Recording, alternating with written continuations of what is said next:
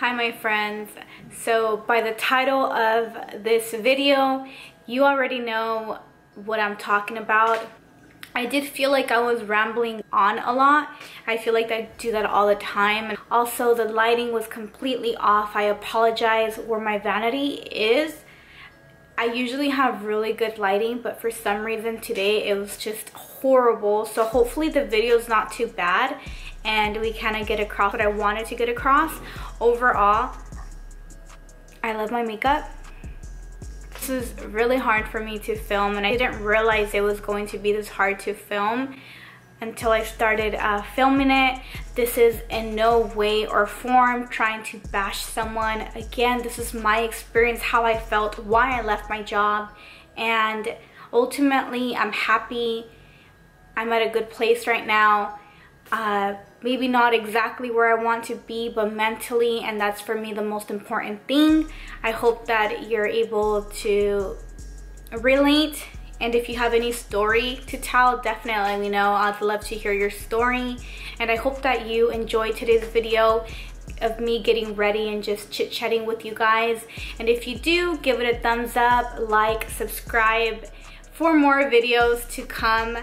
So I did my eyebrows already off camera just because I didn't want to take too long on them. I already prepped and primed and now I am going to go in with my corrector because my under eyes are just not it. This is my favorite one. I always talk about it on my Instagram. This is from LA Girl. In case you're wondering why I keep looking this way instead of at the camera, it's because I'm just looking to see uh, what I'm doing, okay? I am going to be using our beauty sponge and if you didn't know, me and my friend Erica, we do have a lash brand together.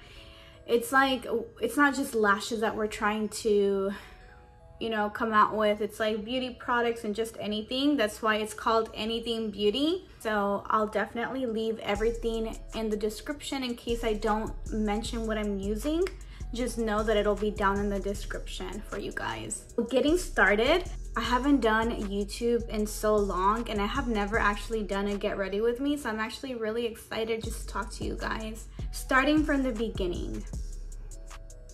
I was actually born in Mexico and I came here to the US when I was two years old. I came with my family. My dad actually brought me and my family to the United States and I've been here since. I have been going to Mexico regularly since I was little. We go, we try to go like once a year if possible, but I know sometimes it's hard, especially with COVID and sometimes like just other things. I know somebody had asked me, how is it that I have dual citizenship? Well, since I was born in Mexico, I automatically have citizenship there. And then here, well, I have met the requirements to be a citizen in the US, which makes me uh, qualified to be a US citizen, which is how I have dual citizenship here in the US and in Mexico. And that's one of the things that I'm really happy that my dad did for us because I love Mexico so much, but it just sucks that no matter how hard you try, no matter how hard you work, nomás no sales para adelante. And I really do feel like America is the land of the dream. So right now, you guys, I am using Dose of Colors. I'm actually really happy because this morning they gave me my own discount code with Dose of Colors and I was so happy because I love this brand so much and it's always like such a great feeling to be able to work with companies that you genuinely love and that it's easy for you to talk about because you love them and you use it every single day. And if you follow me on Instagram, you know that I always rave about this foundation. I am in the shade 118 for those wondering and I'll leave my discount code right here for you guys. I guess I'm gonna start off with how I even got here, right? So what happened was that I've always loved makeup all of my life. I wasn't that good at it though, I'm not gonna lie. However, back in 2012, I had finally graduated high school and I started college. I went to Fresno State right out of high school because I used to be an avid and um, my teacher, Mr. Fernandez, which he's a great, great teacher, by the way. He told us that we had to go to a four year after. And though I think it's great for a lot of people, it wasn't the best thing for me. But anyways, I'm still happy with the experience. It was great. I feel like I really enjoyed, you know, being at state for a year just to experience it, but it just wasn't for me. So I wanted to be a lawyer, by the way, but once I did like the first year, I was like, dude, this is real, real hard.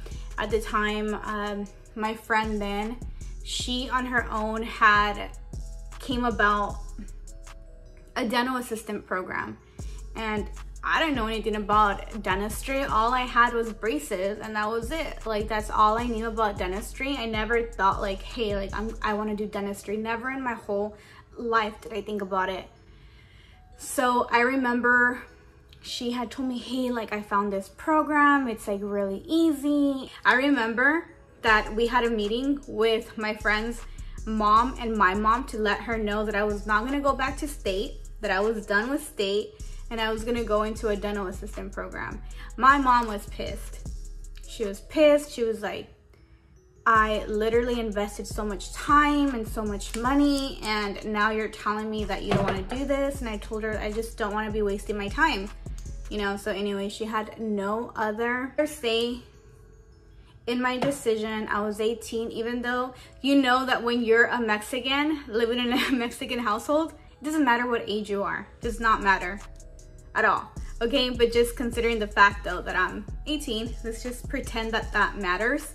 So she was like, whatever. So I started doing um, the dental assistant program and I ended up really liking it. I actually went to school every single day and I received a 4.0 and perfect attendance and during that time being I got hired off my um, my internship and that was really cool because I was finally getting paid. I had never ever worked before that and that was really cool. So I finally got to buy my own makeup, right? So I finally was able to start doing looks. I remember like someone that I really looked up to was um, Beauty by Rosita. I'll leave her at name here. She has a YouTube channel and I just loved watching her and I remember she was like one of the first people that I would watch other than like Carly Bybel. I remember watching Carly Bybel a lot in high school. Anyways, I started, I got my job, my first job ever, and it was great. I, the office that I worked at, honestly, I can say confidently that they taught me everything that I needed to know about dentistry. Take my state boards, and I passed that, so I was doing that. I was an RDA, and everything was fine. And so we were, I was just living my life, just you know, without social media. Social media, again, it wasn't a thing to me. Like I had it, but I was just a viewer. There was a time in my job then that one of the dentists was going to retire because it was a family uh, practice.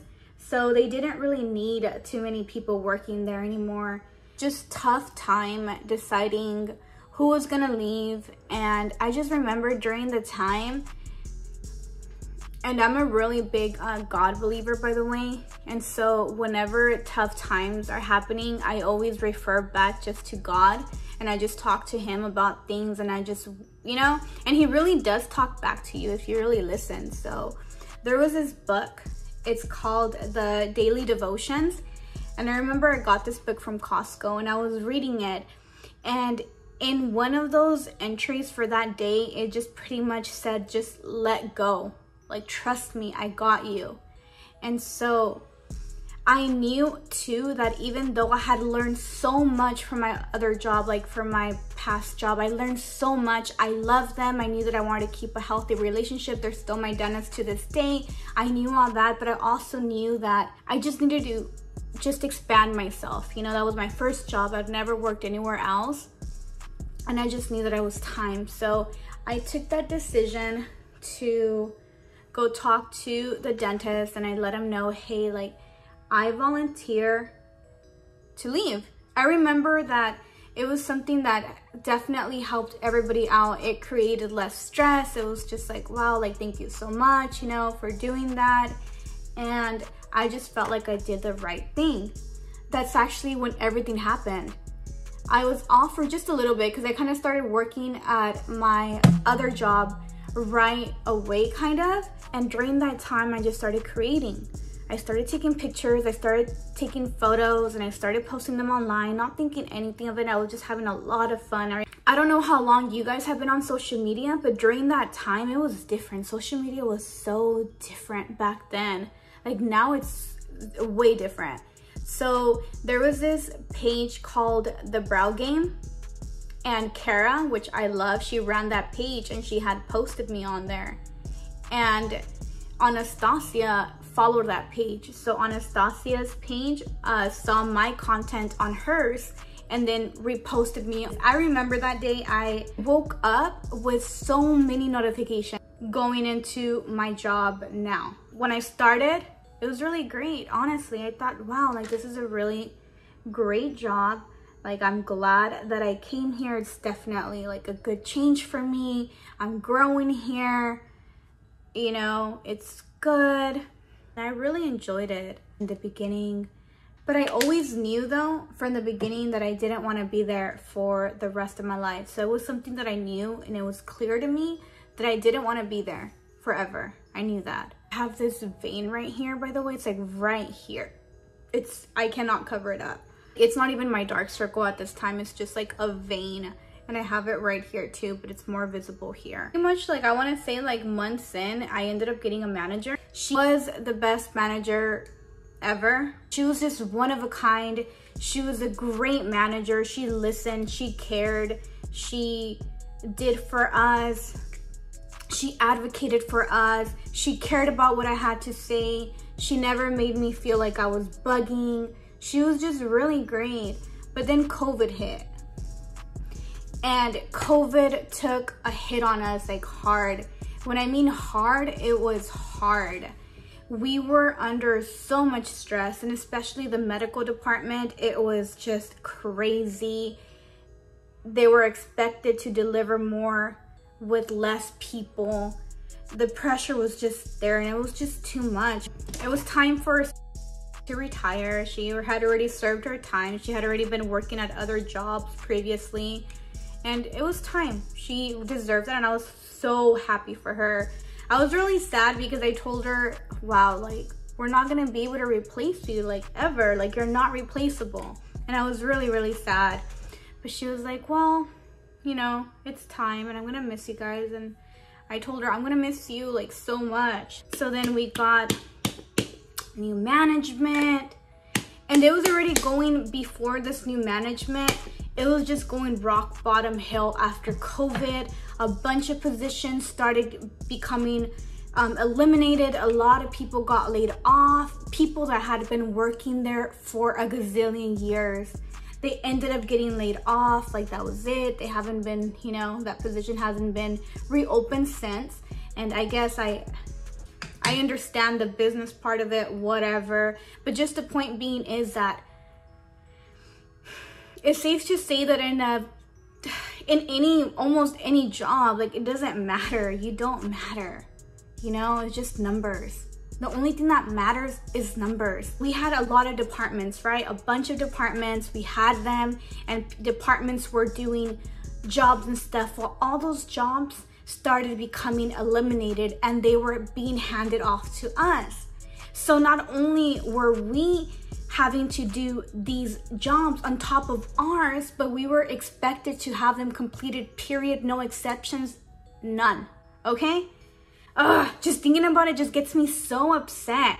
And like, I didn't even think that I was gonna get emotional.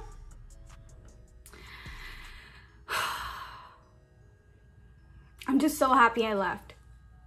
It wasn't even that because, to be honest, and I'm not gonna not gonna cry, but I'm a good ass worker. That's the one thing about me that I'm really just my work ethic is just immaculate. And I say that with a 100% of my being. I 100% believe that because my parents, uh,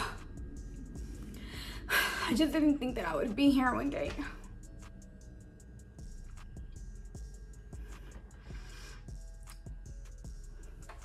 I really do not want to cry and I didn't think that I was gonna cry. Like I never, I promise you, I did not think that I was gonna cry.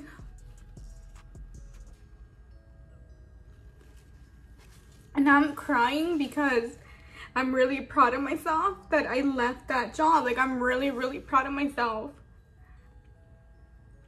Because I was there for five years, you guys, like five years. And during those five years, I did so much for that company, like so much. I really just, my department, I turned it all around. Like when I first started, oh my gosh, it was like chaotic. Like when all the girls that kept coming in, I was training them to the T. Like I really when I'm at a job, I really do 110%. So everybody that would come in, I would train and I would train them 100%. They would leave to other departments or they would leave to other locations and they would all excel. My concern was always like having patients have the best care, go above and beyond for our patients. Like they never saw it, people didn't see it. We're getting all these other duties now and our pay is the same, yet we're doing we're doing call center, we're doing all these enrollment programs, we're doing all these insurance stuff, we're doing so much and we're not getting paid more. Like, what the heck? And we're being told that we have to do it, period. We still have to be with our best attitude even under all this stress. Like, what? I'm not gonna say names and I'm not like I'm not going to bash anybody or anything. I'm just speaking my experience, how I felt about the situation. Just to be honest, my team when I was there, we were the best.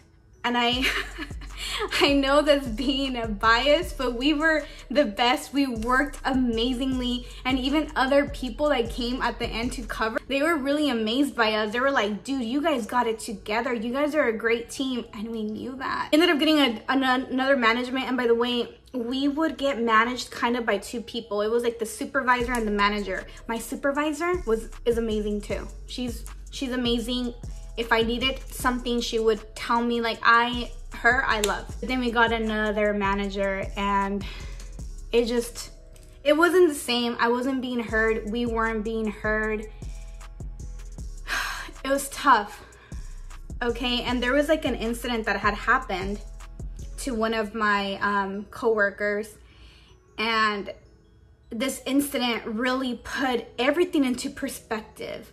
We're like, like, excuse my language, but we were like, WTF. Like, this is not how it's supposed to be. Like, a manager is supposed to have your back, and a manager is supposed to look after you. Pretty much, like, we didn't have somebody, and it was always just talk. It was just like, hey, I'm here to back you up. But in reality, we were out there by ourselves. It was just like, deal with it, and that's it. Just deal with it. Just deal with it. Everything was just deal with it like all the time. Whenever I had a concern, I felt like I was bugging. When I had something to say, I was wrong. Coworker, she had ended up putting in her two weeks notice. That's not my business, so that I'm not even going to go into because it's not my business at all. And once she was leaving, I told myself, you know what, like, I don't know, like, we're we were a great team but now that she's going to be gone i'm going to be stuck with all the stress.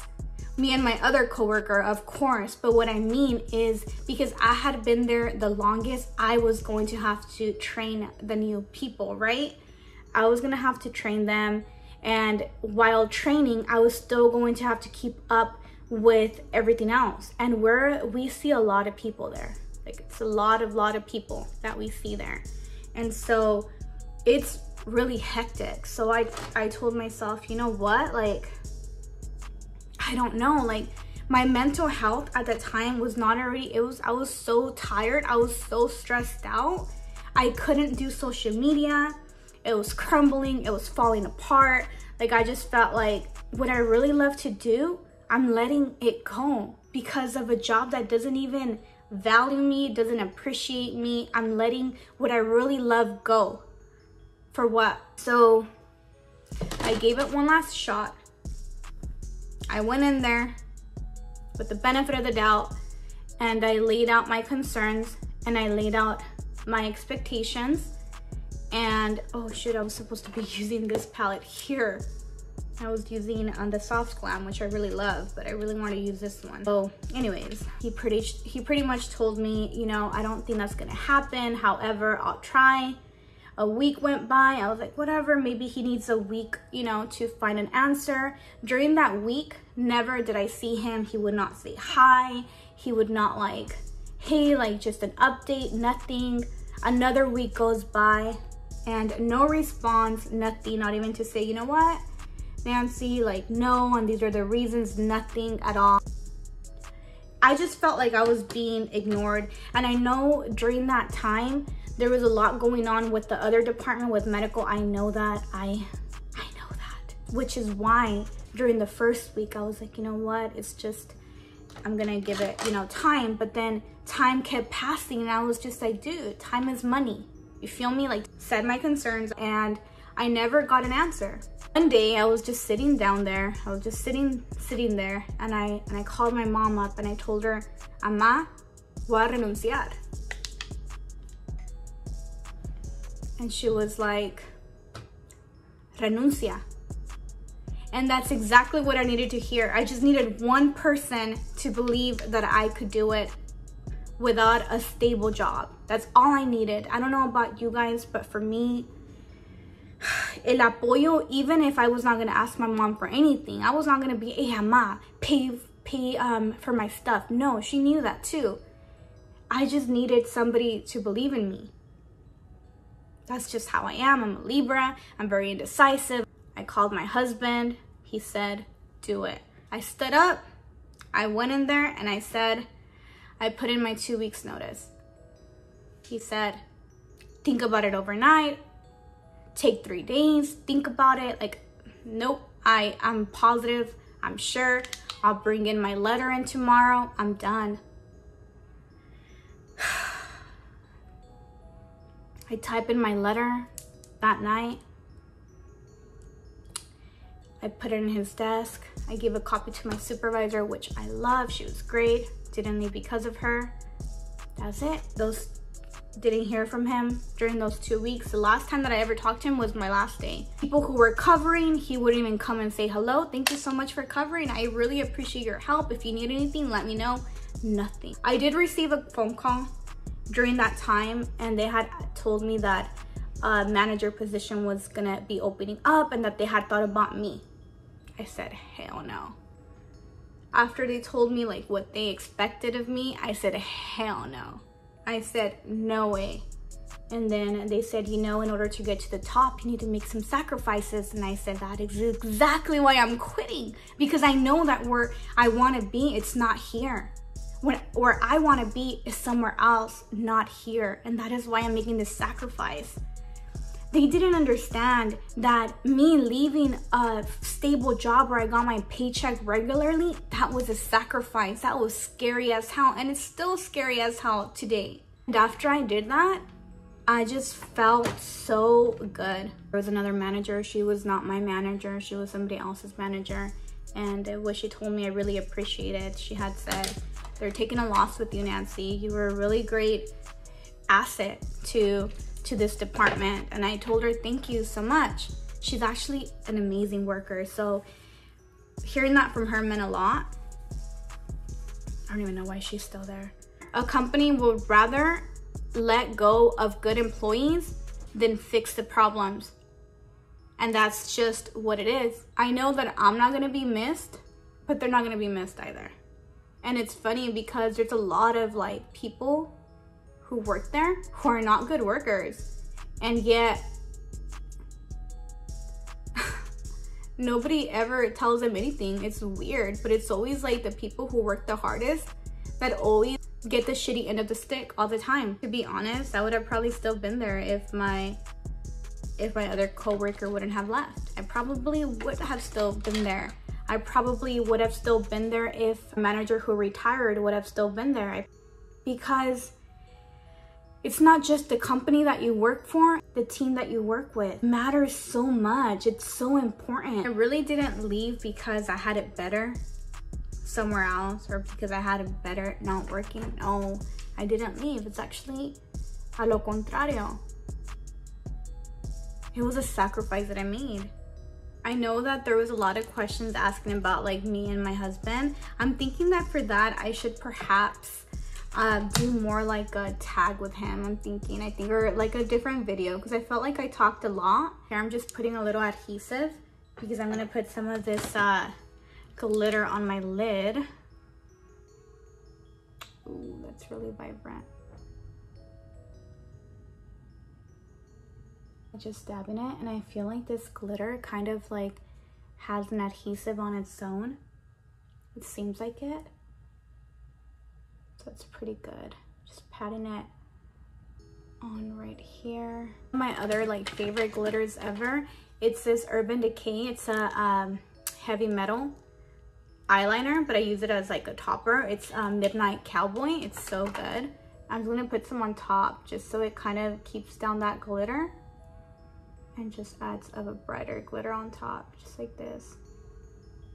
By the way, I'm not gonna lie, this kind of made me a little bit uncomfortable to talk about just because I don't wanna seem like I'm like I'm slandering or I'm bashing anybody because that's not what I wanna do. It's just simply how I felt about everything. Maybe somebody else saw it differently and somebody else didn't ever see it the way I saw it. And that's just how I felt it that's how a lot of us felt it and I don't know, like that's all that I can possibly say about that experience and I'm glad it's a closed chapter. I'm glad that I'm done with it. Put on a little bit of uh, brown, uh, brown eyeliner just to smudge it out a little bit. This is from Laura Mercier. So creamy.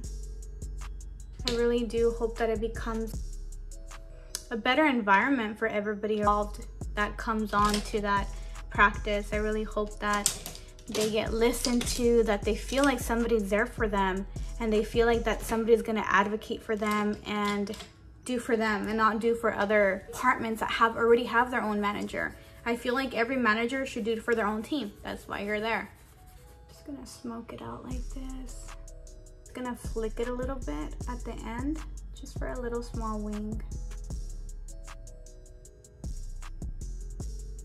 Okay, I went ahead and put some mascara and did my my under eye. Now I am going to be wearing our lashes in the style Reina. These are one of my favorite styles, though I love them all.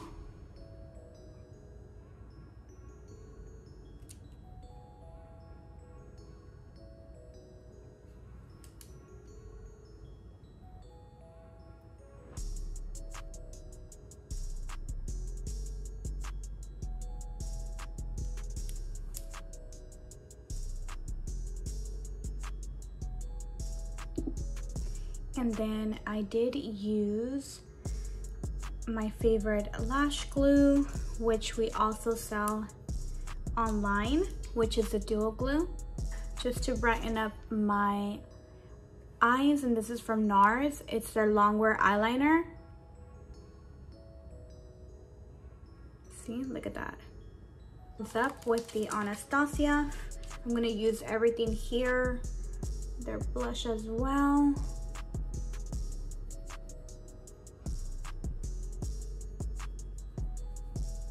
My lips, I'm gonna use Dose of Colors Cork Lip Liner.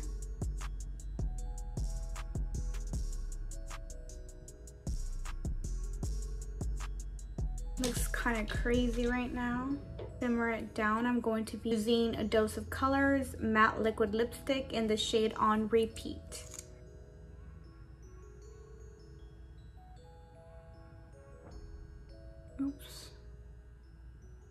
Like to pat it down like this.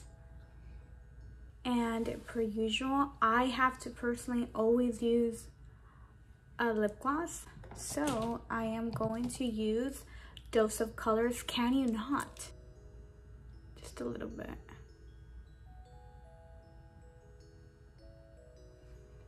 Just in the center. And there we have it.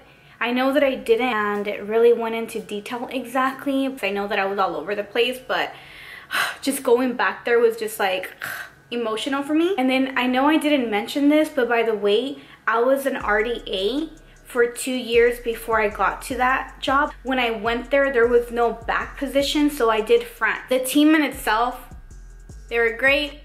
They're great people. They're hardworking. They're an amazing, amazing team. And I'm happy that I was able to work there for those five years that I did. But I'm also happy that I was finally able to leave for myself and to work for myself, to work on myself. Ultimately, I'm happy to be doing me. I'm really proud of myself. And I just cannot wait to see what God has in store for me, whatever it is, whether it's, well, I don't want to say bad, but you know, sometimes bad is necessary to be able to appreciate all the good. Thank you for watching. I really, really appreciate each one of you guys. Que Dios los bendiga. Hasta la próxima.